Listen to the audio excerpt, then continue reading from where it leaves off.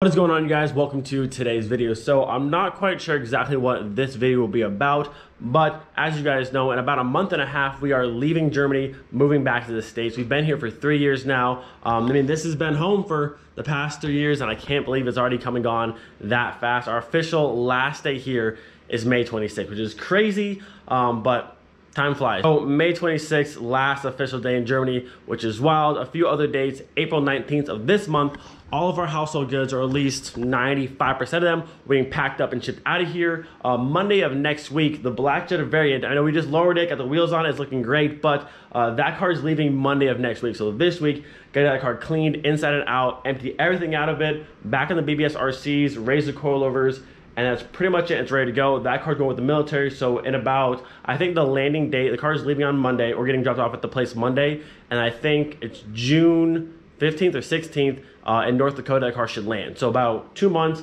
uh, that car should be in North Dakota, which is very very cool. Like I said, we have a lot of. Uh, a lot of packing to do. Like I said, I'm not sure this video is gonna be about exactly, but I want to document the process. I mean, this has been home for the past three years, so to kind of clear out of here, it's gonna be wild and we got a lot of stuff. But thankfully our household goods can weigh up to 9,000 pounds. So hopefully everything we have here and all the engines I have and just it's a lot of stuff. But I think we'll be under 9,000 pounds. We passed 9,000 pounds with just like goods and parts that's that's a problem. But I think we'll be okay. So today I'm gonna go downstairs. Actually I'm gonna do this probably tomorrow. But today I'm starting downstairs clean off all my shelves, a bunch of the bumpers that are still here. Uh, Nick's taking the rest of stuff out of here to the UK. Um, but right now I go through and get all my personal stuff packed up. Got some bins here. Got all the pictures off the wall. I mean, there's just, it's crazy how much stuff you kind of just accumulate over three years. And usually like what happens is you kind of just grow into your space. So since we had this house and the barn, we had all this space to just gather stuff. Uh, the upstairs in the barn, the basement, uh, there's like four bedrooms in this house. You just kind of grow into your space. So things like this happen. And also, my wife and I both love car parts. So when I'm ordering parts and she's ordering parts, this is this is what happens. It just so happens. So I said I don't know what the video will be about exactly, but we're gonna start documenting the process as we uh clear out of here. Like I said, it's been home for the past three years and uh almost out of here. Over here, all the posters must come off the wall. Very easy to pack up. All of the lights literally all of the lights gotta get packed up. Gotta be careful with these because like these ones and a few others like new old stock so gotta keep in good condition pack them safely but we have the boxes for a handful um the clears and i think those come in that box but handful of things. This might be kind of tricky to pack because it's like a you know a whole fender but again shout out matthias for that. We'll pack it very safely and not do any damage to that. Uh this part of the tv stand will go. Uh, my desk probably needs to stay. I have my laptop to edit on, so that whole desktop might go. We'll have to see about that. Gotta keep, yeah, good old Avenue. Another piece is kind of awkward to pack, but we'll make it work. And then over here, the tables are already out of here getting refinished.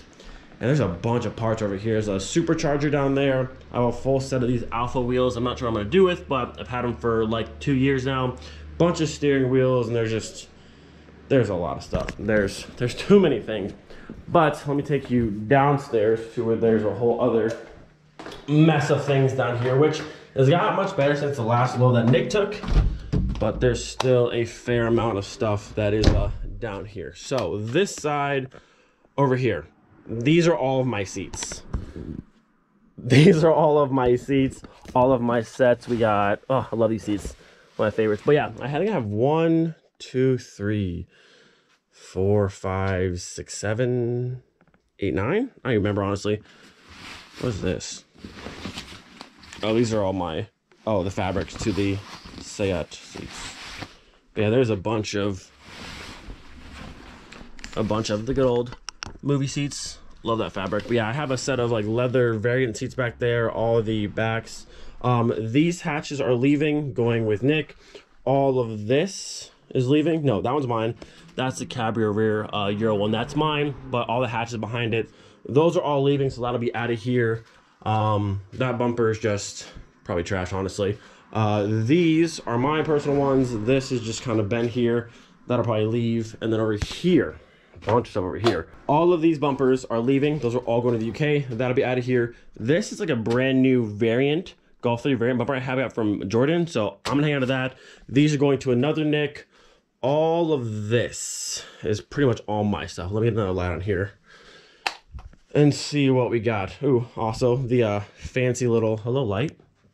There you are. My little wheel shrine going on. The rotiforms, new tires.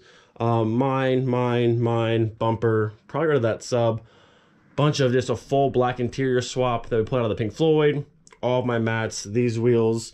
I didn't show you guys this. I got this a while back. This is a US Jetta trunk, a little dented on the corner, someone dropped it, but this is a super cool, I wanna say it's MS design uh, spoiler, kind of similar to like Oettinger or Cox, where it mounts on the side over here with the third brake light. So that's kind of cool to hang that for mine. I want a GLI at some point, a US spec GLI uh, Mark IV, and I might use this on that. So we'll see about that.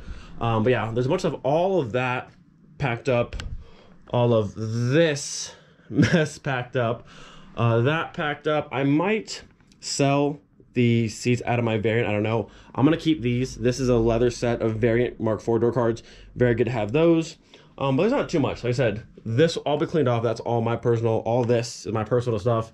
That section, this section, and uh, there's a lot of stuff. But I think it'll be okay. Shouldn't be too, too bad. Like I said, all of those bumpers, all the hatches over there are all leaving as well. Um, so I'll clean up a whole bunch of space.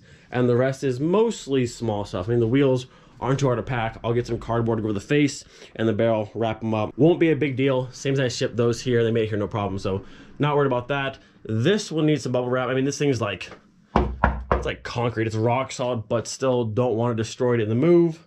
Oh man, just a lot of stuff. This is why I saved. We have like hundreds of boxes in there. Um, so plenty of stuff to pack stuff in. But yeah, there's just like parts on parts. That's my new old stock Vento VR6 slip. I'll put that on something eventually, maybe. We'll see.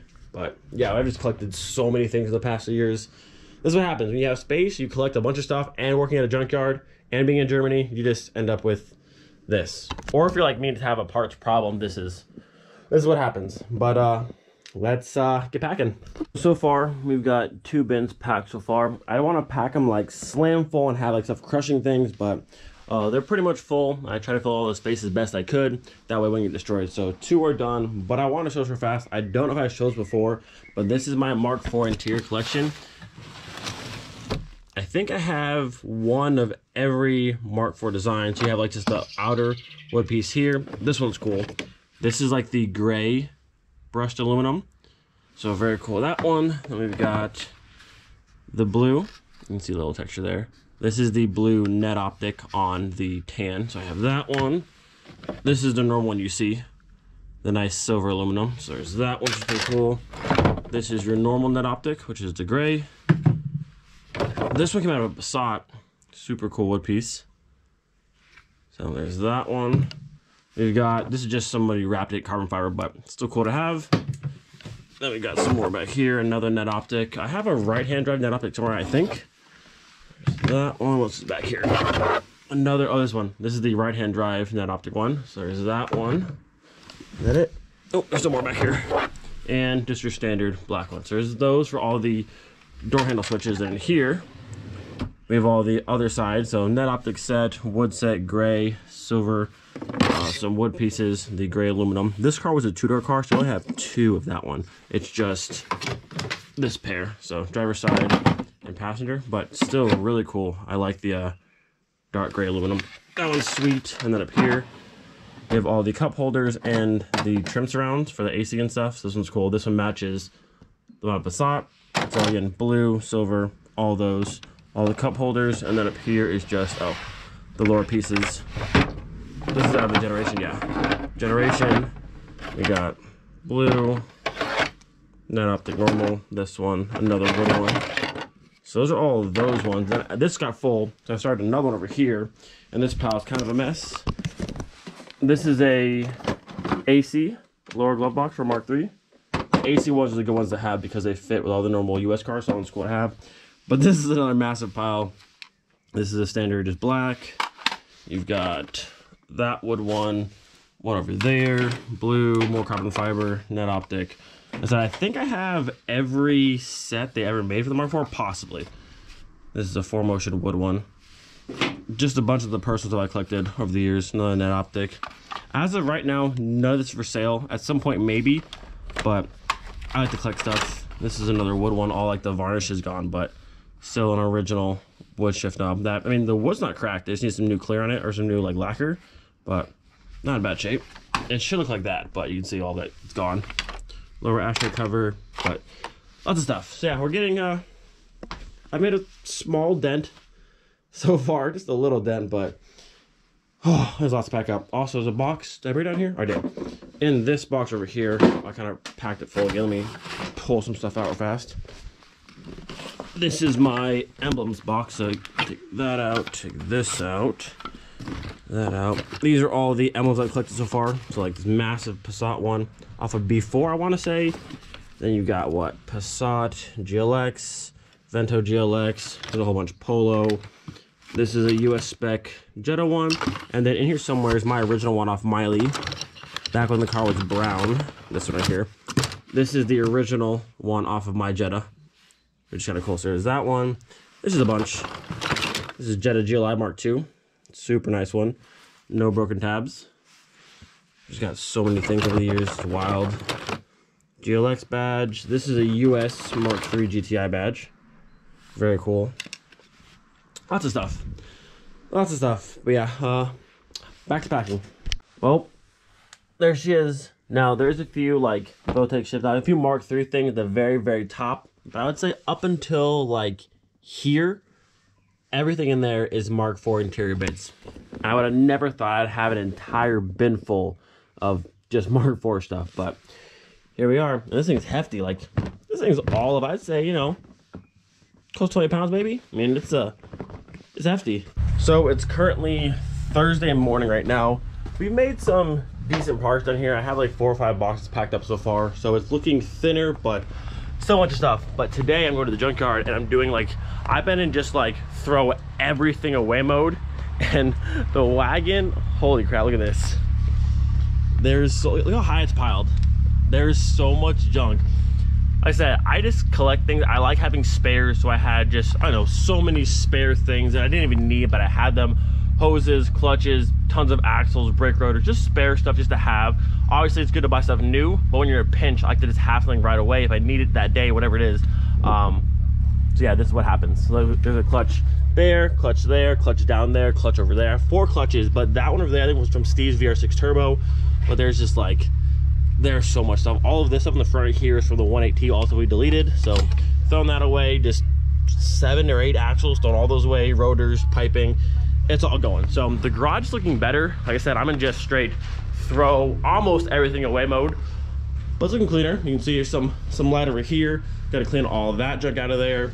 And then this back corner looking more empty. Like i said we have until the 19th they're picking up like 95 percent of our stuff.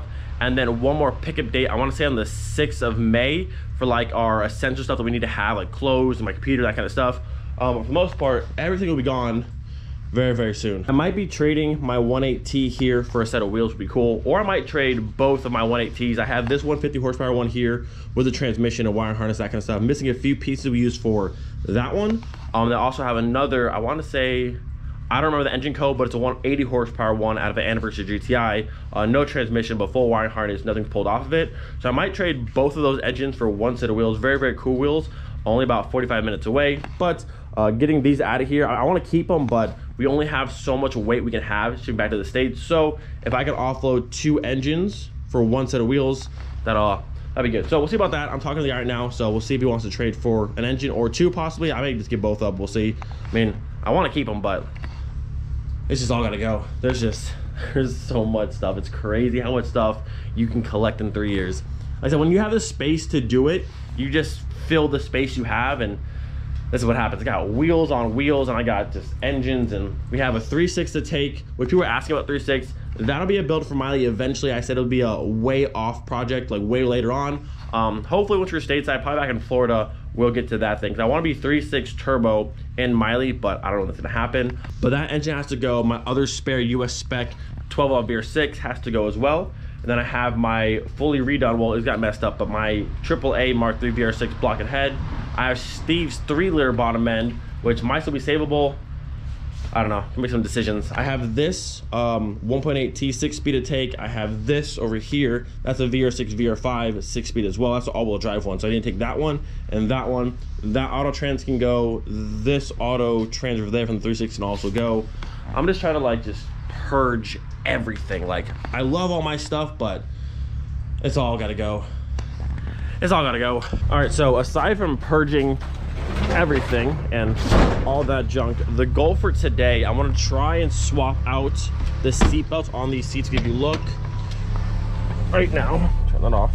We have a airbag light. Now it's not actually for the airbag. I swapped the connectors on um, the car side to match the seat. So the airbags are plugged in that's fine. The code currently is for the seatbelt resistors. Now, I don't know if European cars have this or some do and some don't, but these particular Recaros, they had a seatbelt sensor um, that plugs in down to the harness on the car side. Now, these seats do not have it, so currently that connector is open. I have this slide on, which is seat resistor for driver side and passenger side. Now, I've been looking for a resistor to put in there um, but I can't find a full mesh resistor for the seatbelt itself. I see one for the airbags, but not the seatbelt, and it's a four pin connector. So I'm not sure exactly how to do that, but what I did, I grabbed the seatbelts off of my seats that were in this car. You can see they have this little plug.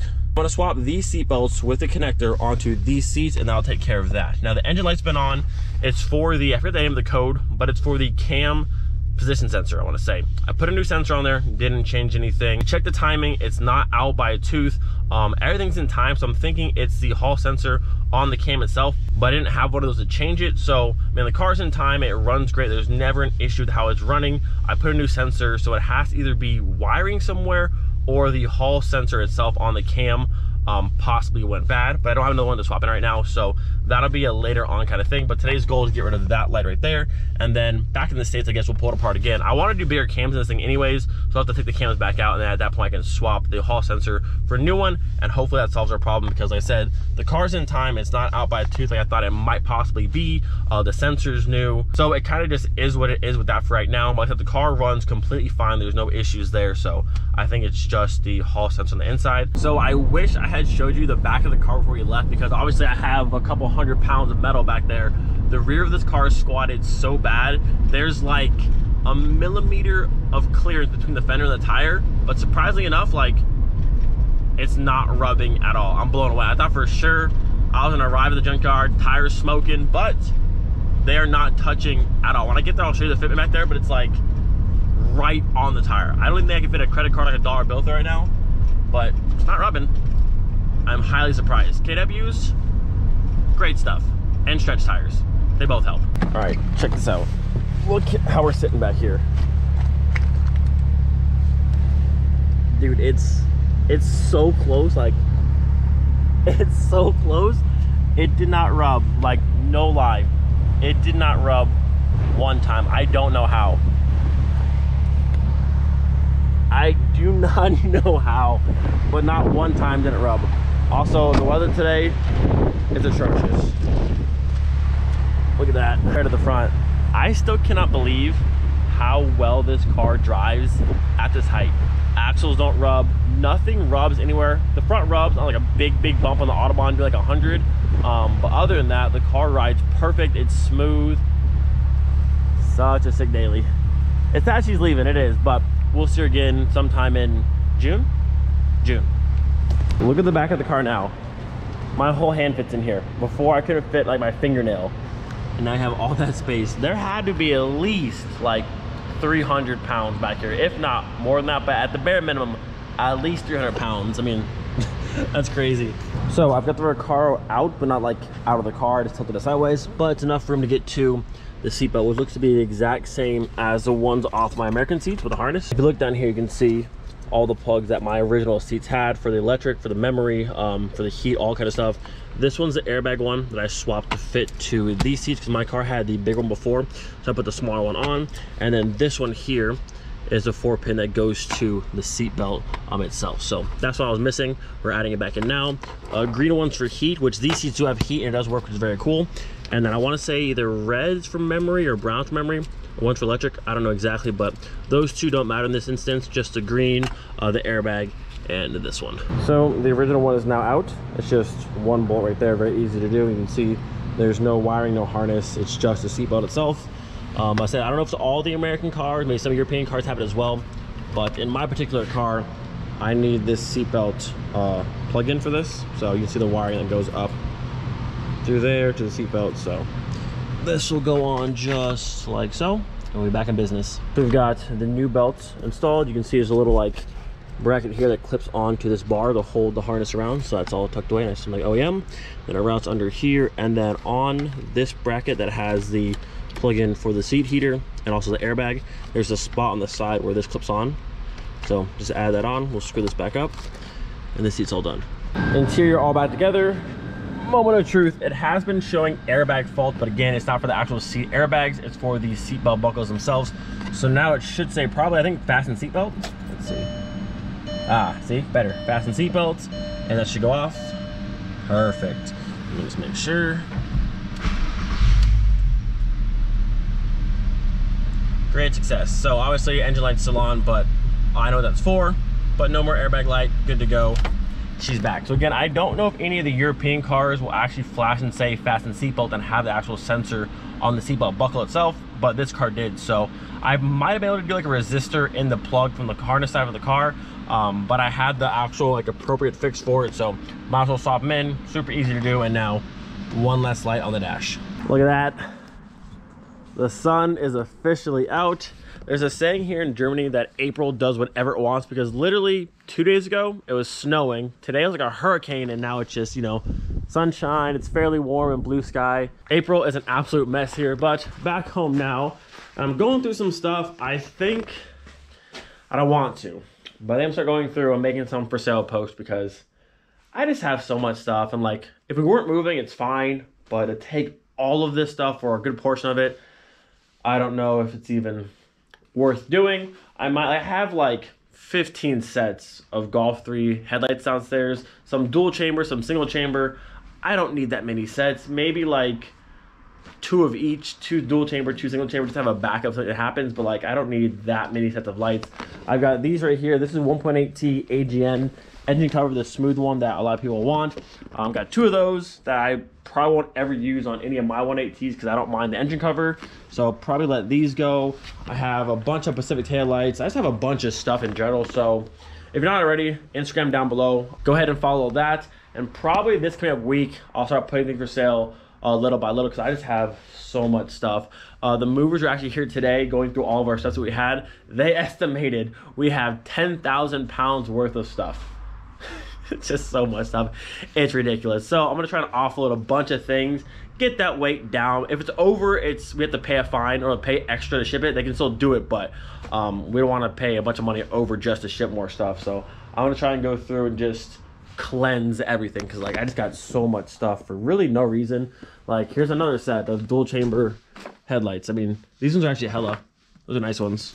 This one's Depot, I think. That one's TYC. TYC hella. I'll probably make two good sets of dual chamber and then two sets of the single ones just to have like a spare lens if I need it or just spare headlights. But I just have, I mean, there's an intercooler, another intercooler, more headlights. I mean, when, I mean, when you have the space, have a junkyard at your like disposal, this is what happens. But it's got a sad, but we got to do a bit of a cleanse, boys and girls. We got to shed some weight. And then we come to this side, and there's just infinite more things. Just it's never ending. So much stuff. Like this is a tan leather set of Mark IV Recaros that I was gonna keep and have redone. These ones are kind of weird. I never really showed them on the channel, um, but the leather is like destroyed but the foam is perfect. I don't understand how it happened, but the leather on the driver's seat completely destroyed, but all the foam bolstering is in perfect shape. So I was gonna keep them and then have them redone in the States because they never sold these seats in the States, but I might just sell them for cheap and let them go, or maybe if, I don't know, and I have brake rotors, and that's a VR6, that's a VR6, there's one back over there. This is the Aristos, those are the stock Mark II wheels. I mean, there's just infinite amounts of things. Suspension over there, that's all like KC stock R32 exhaust. I still have the VR5 exhaust back there. Um, tons of knuckles down there. I got to go through and split this. This is the 4Motion rear end out of my VR5, but I don't need the subframe. I just want the Haldex. Eventually, I want to put that into this car. Eventually, I want this car 3.6 turbo all-wheel drive, and I'm gonna need this, but I don't even know. I might just let it go here and get it in the states, possibly. There's just, it's just never ending It's too many things. I shouldn't be allowed to have this much space because what happens. And your wife likes parts too. You double things because now we have her car stuff and my car stuff and it just gets a bunch. And then up here, let me show you this mess. I showed before, but bunch of stuff up here. We've got my room over here, which has, oh, there's my light, that's annoying. But all of the suspension and knuckles and stock stuff and a bunch of stuff over here. Uh, Porsche twists. I have these 19s under here. Uh, the Techs. the wheels off of the variant. Uh, the Long Beaches, these ones are getting sold. Uh, these are Cobalt SS wheels, 18 inch, very cool wheels, but probably sell those as well. Some Motegi MR9s or something like that. We have the Santa Monica's down there, the GTI wheels, the Ariettas are over here. I mean, there's tires stacked up. I shouldn't be allowed to have this much space, at least not a place where we're staying that's not permanent, because then I have all this stuff. We got to move it. We might toss these on the GTI. That'd be cool. We'll see about that. But I don't know. I wanted to keep all of the Volkswagen wheels. Like this can go, that can go, that can go. Those can go. The Porsche will keep. These can go. Obviously, keep the Powertex as well. But I was thinking of keeping all of the OEM wheels, the Aristos, these ones, those ones, the Ariettas, and the GTI wheels. But I might just keep like just this set. Keep the Long Beaches and maybe the Ariettas possibly, or all of them. This is it's too much stuff. It's too much stuff, and we got like two weeks, and we gotta get get it all out of here. So stay tuned to see if we get all the junk out of here. I got some like Mark II small bumpers here. Where I got those from, but I have them, and yeah, it is gonna be a fun, fun, fun next two weeks. We got more wheels over here. These are some little 4x100 Evo line wheels I got like maybe three years ago. Never used them, probably let those go. These are cool though. This is the Alfa Romeo 159 wheel, 17 by 7.5 ET41. The lips are not part of the wheel. Looks kind of cool like that, but that's not part of it. It's just those ones and ones inside. I might keep those. They're cool. I think they're 5 by 110, I want to say, which is a super annoying bolt pattern, but might hang on to these for something later on. We'll see about that.